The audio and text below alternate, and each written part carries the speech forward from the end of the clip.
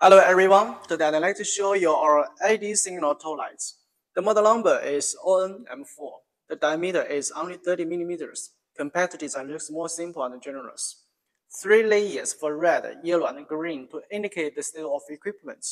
Double PC cover, milky cover inside. Transparent cover outside to make the light soft and easy to distinguish color signals.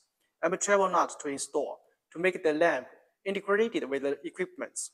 DC 24 volts with function of steady light with the buzzer and red flashlight with the buzzer options. Widely used on security equipment, automation equipment, testing equipment, and sensing machines. Any requirements, welcome the inquiry. Thank you.